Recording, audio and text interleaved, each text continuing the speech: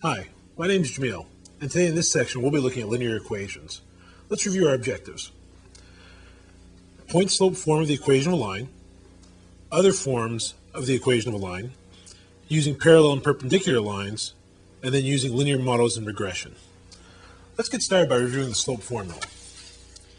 The slope m of a line is given by the following.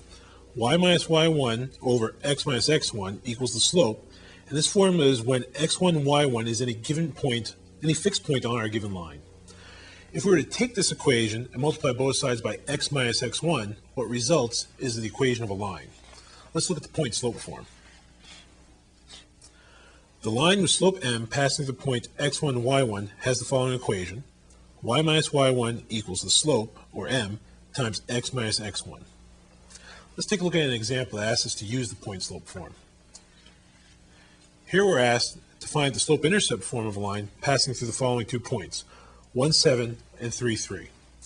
In order to do this, what we'll need to do is start with our two points, 1, 7 and 3, 3, and find the slope.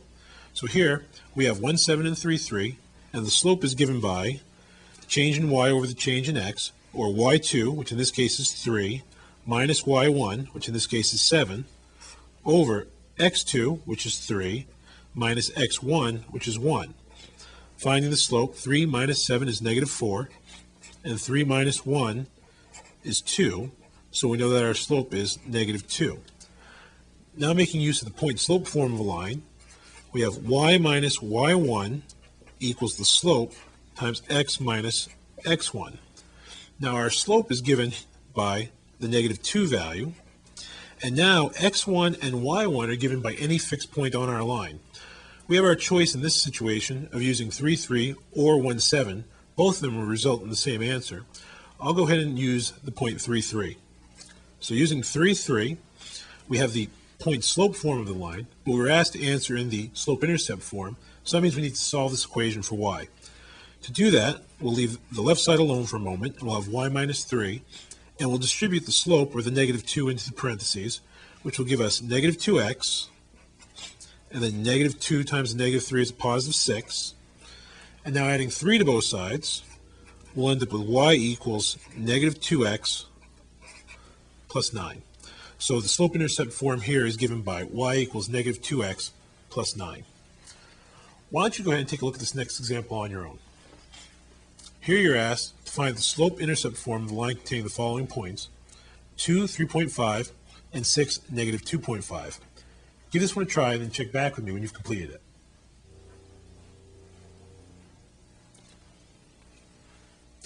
Let's say I did with that example.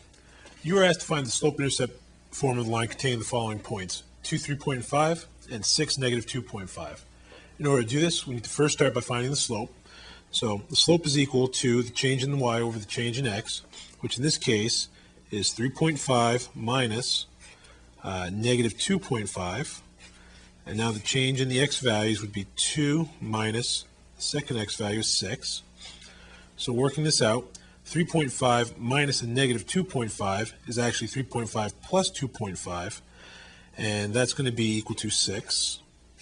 And then on the bottom we have 2 minus 6, which is negative 4, and that's equal to a negative 3 halves, or as a decimal, negative 1.5. Now using the point slope form of a line, we know that y minus the y1 value equals the slope times x minus the x1 value we found the slope to be negative 1.5. And now we need to choose a point on our line. Again, we have two choices, 2, 3.5 or 6, negative 2.5. I'll choose the first point. So that means our x sub 1 value is 2, so that gives us x minus 2. And our y sub 1 value is 3.5, which gives us y minus 3.5. Now, in order to put this in slope-intercept form, we have to uh, solve it for y. But to do that, we'll leave the left side alone and distribute the slope with a negative 1.5. So distributing that, we have negative 1.5 times x, and then negative 1.5 times a negative 2, which ends up being a positive 3. And then to complete this, we'll add 3.5 to both sides to get y by itself. And we end up with y equals negative 1.5x plus 6.5. So that's our final answer. Now that you've seen the slope-intercept form, we should try to use this form to model data. Let's take a look at this next example. Here we're told in 1998 there were 47 million people worldwide who had been infected with HIV. At that time, the infection rate was 5.8 million per year. We're asked a couple of questions. The first question, find values m and b so that y equals mx plus b models the total number of people, y, in millions that were affected with HIV in the year x, where x equals 0 corresponds to 1998, x equals 1 corresponds to 1999, and so on. Now, we were told that there were 47 million people infected in 1998. So we're going to take that fact and make a point out of it. Now, since 1998 corresponds to x equals 0, this is really the point 0, 47, where the y values are being measured in millions. So now that gives us the y-intercept of our line. They also told us that the rate was given by the value 5.8. Now that plays the role of the slope. So in order to write the equation of this line using slope-intercept form, we'll have y equals mx plus b, where the slope is given by the rate 5.8. So we get y equals 5.8x, I'm sorry, 5.8x plus the y-intercept, which we were given by the value 47. So this is the equation of the line that models this data. The second question that we've been asked is to estimate the number of people who may be infected in the year 2010. Now, in order to do this, what we first need to do is realize that the year 2010 corresponds to the x value 12.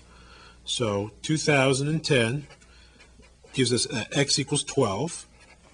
And now remember from the last part, we've got the equation of the line that models it, and that equation is y equals 5.8x uh, plus 47.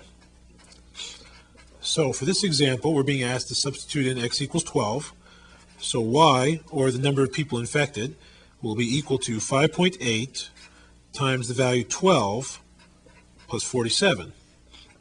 Now 5.8 times 12 gives us 69.6 and then plus 47 which gives us the value 116.6. So what we can say is according to our uh, our model is 116.6 million people will be infected with HIV in the year 2010. The last form of the equation line is the standard form. It's given by ax plus by equals c. In this form, it's rather easy to find the x and the y intercepts, and that's very helpful when it comes to graphing a line. Now, another thing we need to look at is two terms called per, uh, parallel and perpendicular. Let's define these. Parallel lines, two distinct non-vertical lines are parallel if and only if they have the same slope. Perpendicular lines, two lines, neither of which is vertical, are perpendicular if and only if their slopes have a product of negative 1. Let's take a look at some examples that make use of these terms. Here we're asked to find the equation line satisfying the given conditions, giving it in slope-intercept form if possible. The first example is a line that goes through the point negative 1, 4 and is parallel to the line x plus 3y equals 5. Now in order to start this, what we should do is take our line that we know is parallel, the x plus 3y equals 5, and find the slope of that line. So taking this equation and setting it in slope-intercept form and solving it for y, first we'll subtract x from both sides and we get 3y equals 5 minus x. And now we'll divide both sides of the equation by 3, and that gives us that y equals 5 thirds minus x over 3. Now, from this equation, we can read that the slope of this line is the coefficient of the x, which is negative one-third. So we know the slope of our parallel line is negative one-third, which means the slope of the line we're looking for will be the same. It will also be negative one-third. Now using the point slope form of the line, we'll set up y minus y1 equals the slope times x minus x1. And we know that the slope we're looking for is the same as the negative one-third we just found. And now, using the x sub 1 value of negative 1, we get x minus a negative 1, which becomes x plus 1, and we get y minus 4, and that gives us the equation line in point slope form, but we were asked to give it in slope intercept form, so now, keeping the y minus 4 the same and distributing the negative 1 third on the other side, we get negative 1 third x minus 1 third, and then the last thing we need to do is add 4 to both sides, so we get y equals negative 1 third x, and then we have negative 1 third plus 4, which is really the same as plus 12 thirds. So negative 1 third plus 12 thirds is positive 11 thirds. So the equation of the line that we're looking for is given by y equals negative 1 third x plus 11 thirds. Let's take a look at this next example. Here we're asked to find the equation line that goes through the origin and is perpendicular to the line 2x plus y equals negative 6. We'll start this the same way. We'll take the line that we're given as perpendicular and try to find the slope of that line so we can use that result to find the slope of the line we're interested in.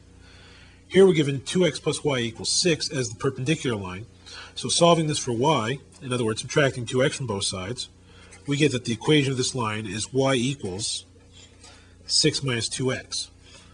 Now, since the slope here is given by the coefficient of the x, the slope is negative 2, the slope that we want, or the slope of the perpendicular line, is going to be given by uh, the slope of the perpendicular is going to be given by the negative reciprocal, which uh, in this case, the negative reciprocal of negative 2 would be negative 1 over negative 2, which turns out to be just positive 1 half.